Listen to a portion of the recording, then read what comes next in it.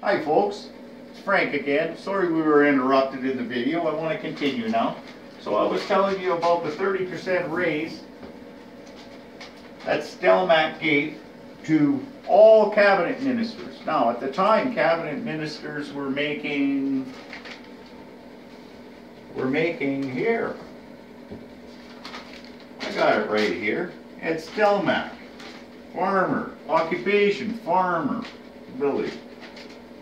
So at the time that he gave himself a raise, he was already making a hundred and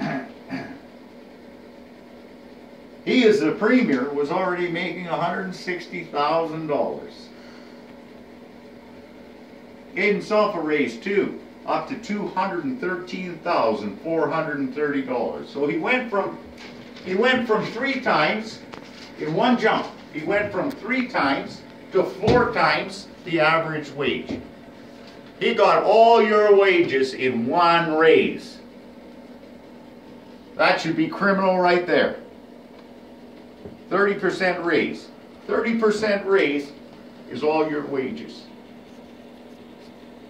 in one raise. Now, so, he was elected by the population in February 2008. Now, I believe that the raises came after he was elected. I can't remember the order that these came in, but anyway, the raises came after he was elected. Because he might not have got elected if he gave himself that raise beforehand. And what, oh, he did one other thing. But that didn't happen until after he was elected by the population. So this is the other thing he did. Now he had help in doing it. On April 22nd of 2008.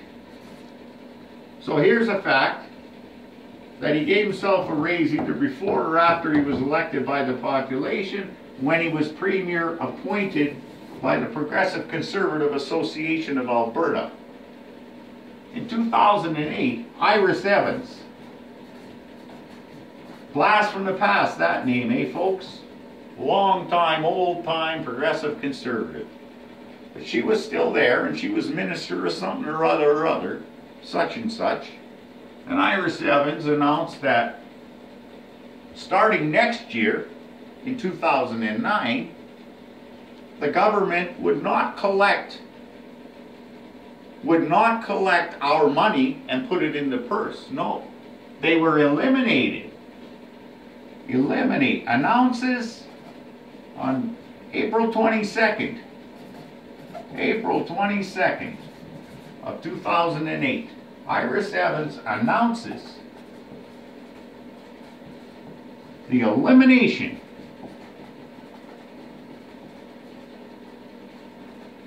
of the collection of your money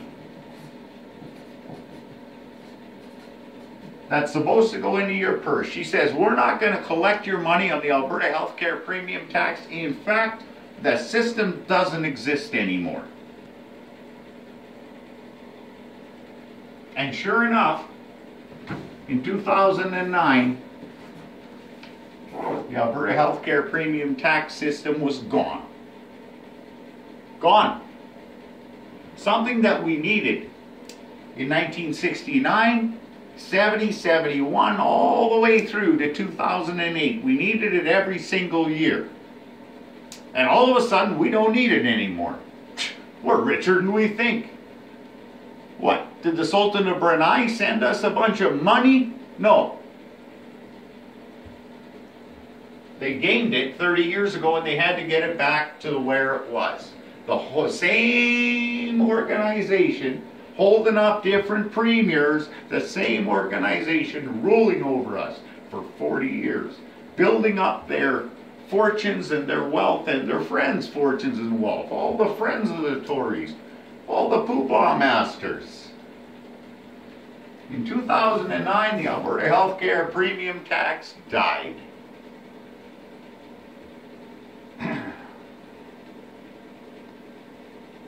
And that put a $1.2 billion hole in our budget.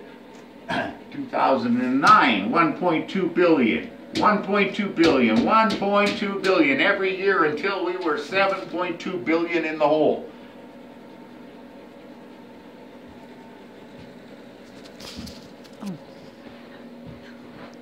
Seven point two billion dollars in the hole. And that is just from eliminating the premiums, but whoa, wait on a minute.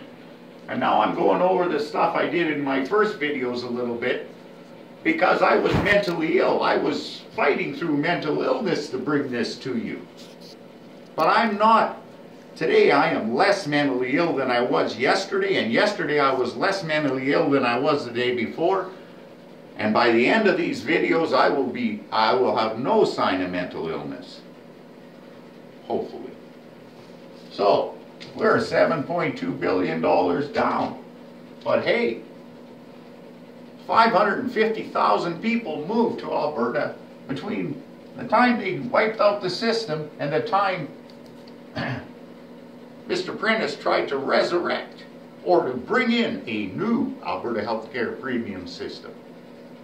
No, they were just bringing back the old one at the levels it should have been at had they not played with it 30 years before.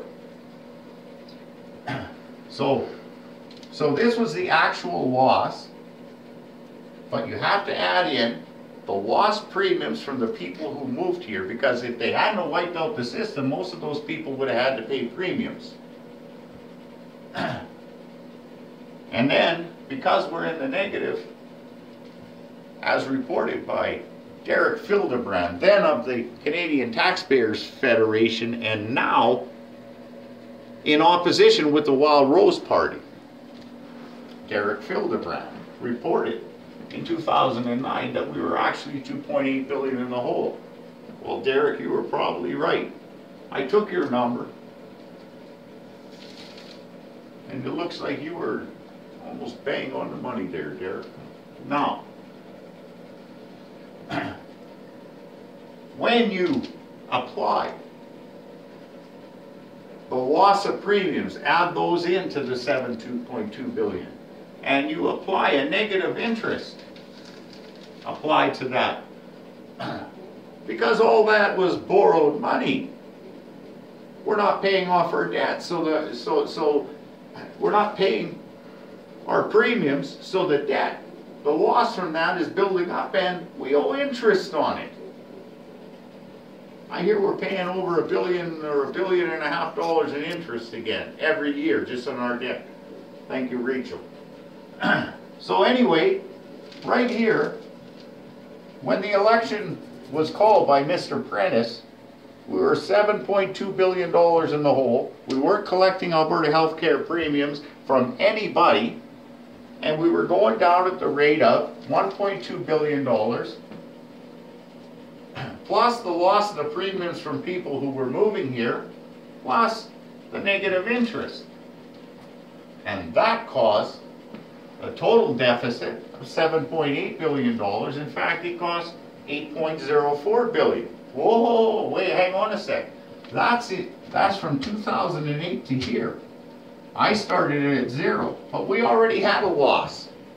Because in 2003, they said starting in 2004, no, no seniors would pay the thing. So we already had a loss. Now, I've estimated it conservatively because I don't want to I don't want anybody to say, "Oh, you're just making a mountain out of a molehill." No, I don't have to make a mountain. It's already a mountain. We I conservatively estimated it at 150 million a year, but it could be as high as this is only a four-year period. It could be as high as $2.8 billion loss in those four years. I don't know. I don't have the government figure. Do you? No.